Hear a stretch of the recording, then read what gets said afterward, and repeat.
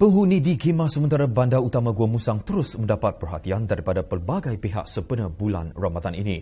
Ia melibatkan 44 keluarga yang kediamannya musnah akibat banjir Disember tahun lalu.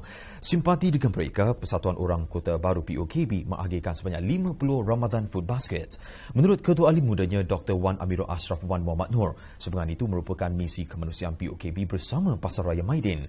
Sebelum ini, Persatuan berkenaan menyumbang pelbagai barangan makanan, tilam dan juga pinggan mangkuk kepada 520 penduduk di Lalo, Kuala Lumpur. Matlamat kami dalam misi kali ini adalah untuk mengakhiri kesusahan yang dialami oleh penduduk pasca banjir iaitu kita tahu antara yang di Kelantan dalam bulan lepas dan untuk menghantar Ramadan tu Basket yang merupakan antara bantuan yang diberikan atas kerjasama Maidin dan kami ingin sendiri sendiri dan uh, membantu selain kami dengan bantuan berkenaan, penduduk diharap dapat menjalani ibadah puasa dengan tabah.